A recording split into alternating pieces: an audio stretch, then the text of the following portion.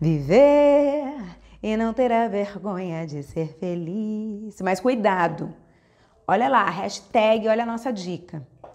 Para você que ama dançar, que ainda não dança, está em busca, cuidado onde você vai fazer as suas aulas, meu amor. Sabe por quê? Você tem um corpo.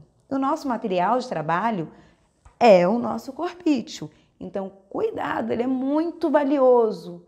E uma vez fazendo uma escolha errada, a tua vida pode ficar errada de, de pode ficar errada depois. Até enrolou a língua para você ver como ficou a situação. Então, cuidado. Do que, que eu estou falando? É importante você saber a índole da escola, saber a índole dos professores, você saber é, qual o grau de profissionalismo que está colocado naquele lugar, naquela pessoa, para que você não tenha problemas futuros realmente físicos, mentais. E isso é pouca gente fala. É um segredo. Ou não, mas eu não escuto muita gente falar sobre isso.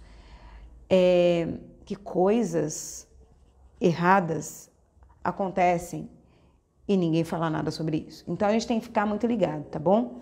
Então presta atenção, os lugares que vocês vão, é legal pegar indicação, é legal você ir lá no Instagram dar uma estoqueada, é legal você visitar o espaço, experimentar uma aula, porque aí vem a energia, lembra o lance da energia? Então, vem a energia atrelada ao profissionalismo que você vai encontrar de encontro com o seu sucesso na dança realizar sonhos com segurança, com disciplina, com ó, tô de olho, hein? Então, fica a dica, hashtag fica a dica.